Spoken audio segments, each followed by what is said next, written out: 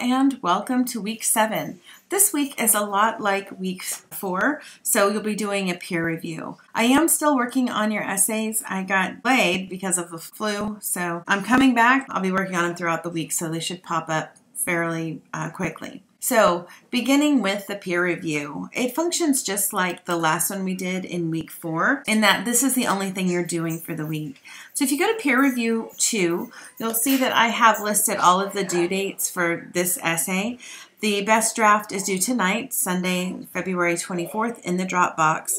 And then tomorrow, probably tomorrow evening, I will assign you into new peer review groups. Now, these are very likely to be different from the ones you're currently in, so make sure you look for uh, essay 2 in that and, and don't get that confused.